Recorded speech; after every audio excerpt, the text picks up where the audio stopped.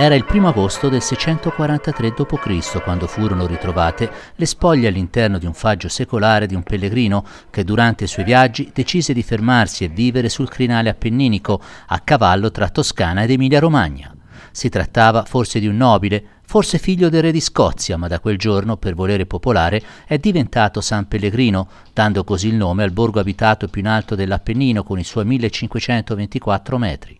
Per ricordare e celebrare questa festa, il primo agosto arrivano fedeli da tutti e due i versanti, Lucca e Modena. Molti di loro giungono a piedi ogni anno, molto nutrito il gruppo di Fontana Luccia di Modena, altri anche da Reggio Emilia.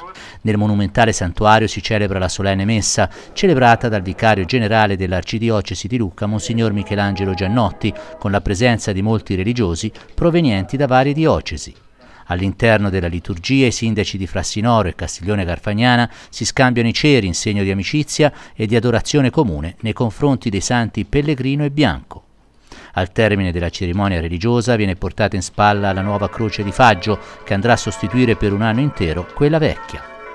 Una volta sostituita e dopo essere stata consacrata, i fedeli si accalcano per prendere un pezzo della sua corteccia come protezione nel nome di San Pellegrino. Anche la croce rappresenta un qualcosa di molto importante, in quanto rimarrà su questo molo per tutto l'inverno, fino al primo agosto del prossimo anno, quasi a proteggere i santi e tutti coloro che hanno a cuore San Pellegrino. Non solo fede, c'è questo legame bellissimo che congiunge due versanti, la Toscana e l'Emilia. E poi c'è questo legame con la natura che è meraviglioso. Io invito a venire quassù non il giorno della festa soltanto, ma quando non c'è nessuno.